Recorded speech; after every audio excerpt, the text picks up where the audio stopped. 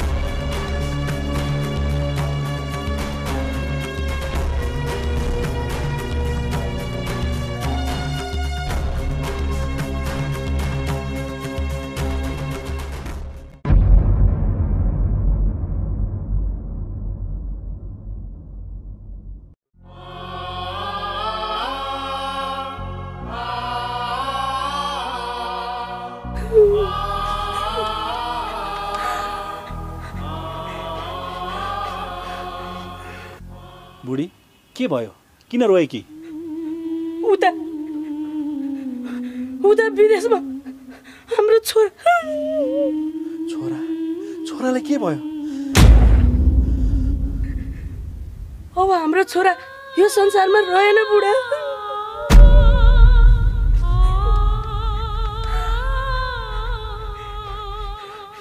नरो बुढी नरो।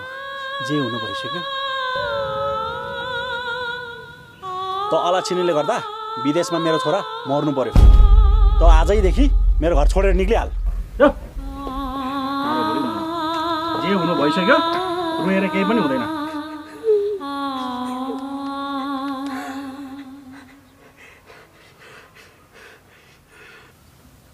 काका के भइरहेछ यहाँ? सोध्न तेरो भाउजूलाई के भएको छ? भाउजू कुरा के हो? के हुनु र बाबु? विदेशमा दाई बित्नु भएछ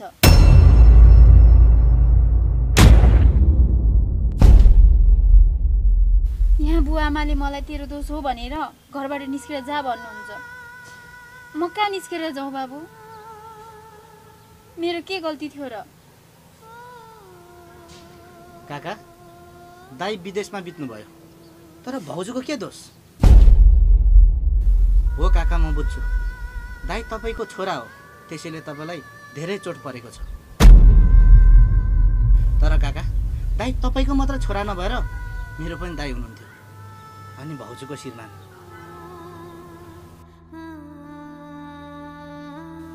अनि काकी अब तपाईँ आफै भन्नुहोस्। यदि काका बित्नुभयो भने तपाईँलाई कस्तो हुन्छ? हो त्यस्तै भइरहेको छ भाउजूलाई। किन कुरा बुझ्नुहुन्न? भाउजू तपाईँ कहीँ जानु पर्दैन। भित्र जानुहोस्।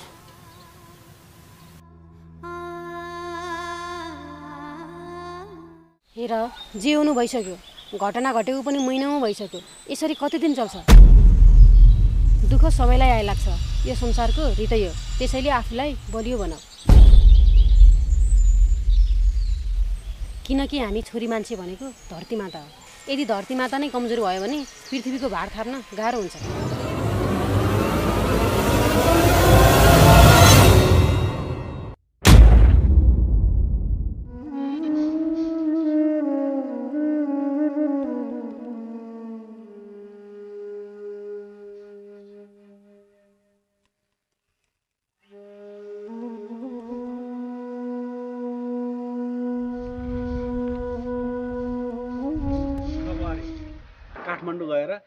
राम्रो अस्पताल खोजेर तिम्रो सासूको उपचार गरेर आउँछु।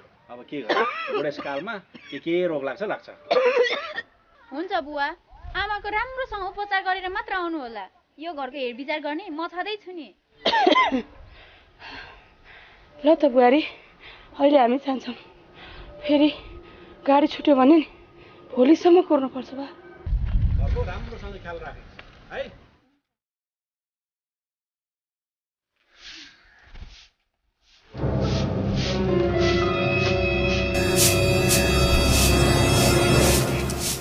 हजुर। हजुर। काका र काकी कता जानुभएको?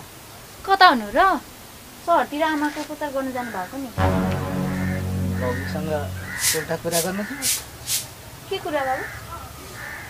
भरे पसलमा आउनुहुन्छ।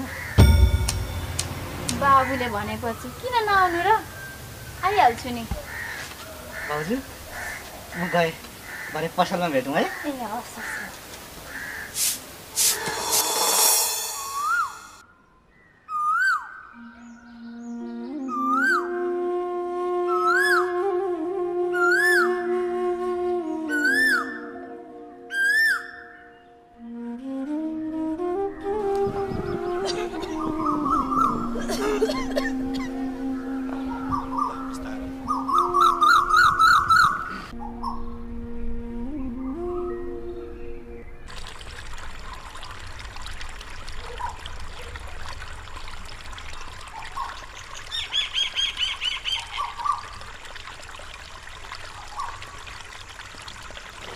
जाडो हुन्छ।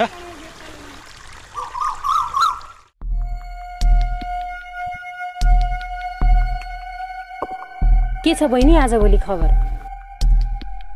सब ठिक छ दिदी। समय पनि कस्तो निष्ठुरी हुने रहेछ बहिनी। के हो र दिदी? किन समयलाई निष्ठुरी भन्दै हुनुहुन्छ? के भन्नु बहिनी? रामे दाईको छोरा हिजो भर्खर जन्म जस्तो लाग्थ्यो। निमोनियाले मरेछ। उसको छोरा त मर्यो मर्यो तर तर के तर दिदी? रामे दाईको भाग्य छोरा मरेको सातौँ दिनमा श्रीमती अर्कैसँग हिँडेछ। अहिले रामे दाई पागल जस्तो भएर हिँड्छन् ओहो आज त दुई दुईजना भाउजू एकै ठाउँमा? अनि के कुरा हुँदैछ जेठानी देवरानीको केही होइन बाबु। ल म जान्छु। बसौँ न भाउजू बसौँ। म आउन बित्तिकै किन जानुहुन्छ? त्यस्तो होइन बाबु। घरमा धेरै काम छ। यहाँ बस्यो भने समय बितेको थाहै हुँदैन। हजुरहरू गफ गर्दै गर्नु म जान्छु। हुन्छ हुन्छ। त्यसो भए जानुहोस्।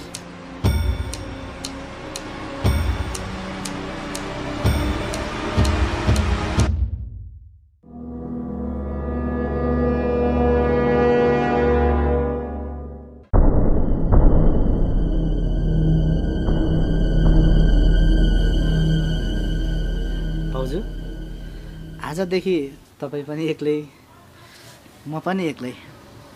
के छ विचार हे बा पनि के भन्नुहुन्छ भन्नुहुन्छ।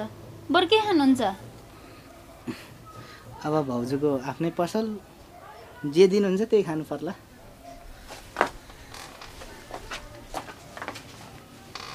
ल एउटा खाऊँ न त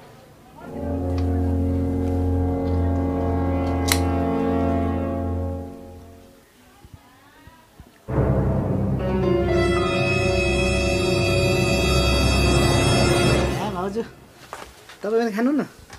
ए नखाने कि बाबु खानु न तपाईँ। खानु न माया गर्छन्। होइन खानु कि तपाईँ। मेरो लागि खाइदिनु न।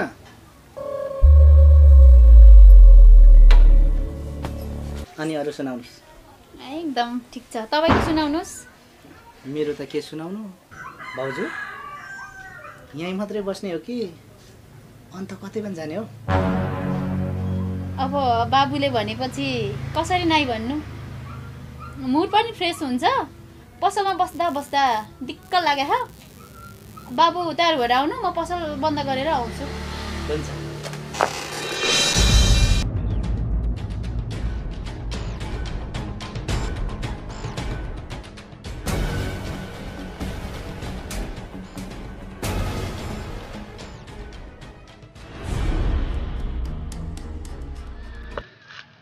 बाबु जङ्गलमा हामी कता हिँडेको कहाँ भन्नु भाउजू जहाँ तपाईँ र म मात्रै हुन्छौँ त्यस्तो ठाउँमा जान लाग्छ अनि गाउँलेहरूले देख्यो भने नि त देखेर के भयो त देवर भाउजू कसले के गर्छ र जाउँ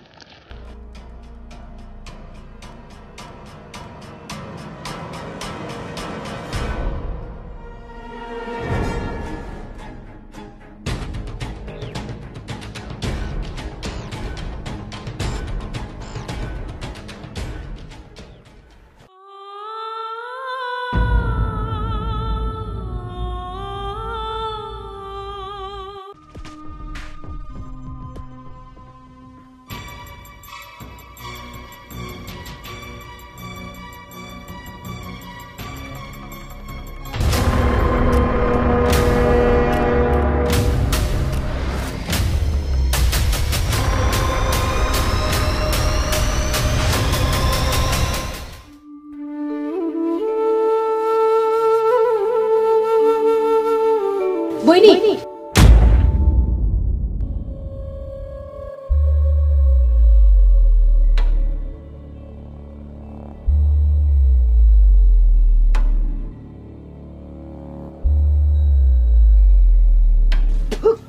हेर हेर लाच बचेकाहरू के देख्नु पर्यो? यस्तो के गरेको तिमीहरूले? हाम्रो समाजमा यस्तो विकृति चल्दैन। अनि देउर बाबु भाउजू भनेको हाम्रो समाजमा आमा सरह हुन्छन्। अनि तपाईँ त छि छि छि छि छि छि हेर बहिनी तिमी श्रीमान मरेको एउटा विधोय हो। त्यसै त हाम्रो समाजमा विधोयलाई कस्तो नजरले हेर्छ? खै के भन्नु? सायद आज तिम्रो श्रीमान भइदिएको भए यो सब देख्दा के हुन्थ्यो? सोचेको छौ तिमीले?